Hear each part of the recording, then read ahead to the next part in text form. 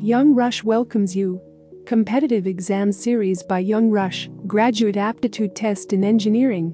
GATE is an examination that focuses on testing a candidate's comprehensive understanding of undergraduate engineering and science subjects. GATE is one of the most competitive exams in India. A good GATE score is helpful for getting admission into IIT, IISc, IIIT, NIT, and many other renowned institutions.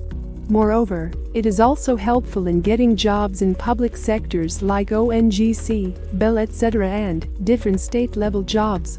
For various fellowships awarded by many government organizations like DRDO, BARC, ISRO etc., GATE qualification is a minimum requirement to apply.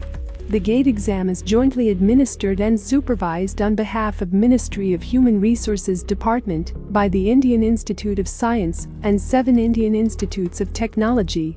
GATE exam is conducted in online mode at various centers spread in different cities across India. Eligibility criteria of GATE exam is the candidate should have passed or been in their final year or pre-final a bachelor's degree in engineering or postgraduate degree in any relevant science subject. GATE exam pattern is as follows. Exam duration is 3 hours. Number of questions are 65. And total marks are 100.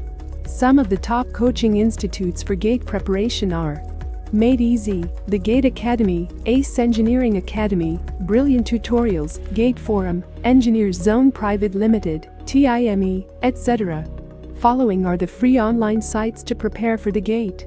NPTEL, a famous learning portal among engineers, is full of lectures from top IIT professors.